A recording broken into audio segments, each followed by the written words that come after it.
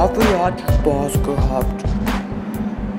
Ich wünsche euch noch einen schönen Tag und bis zum nächsten Mal. Ich leg mich wieder hin.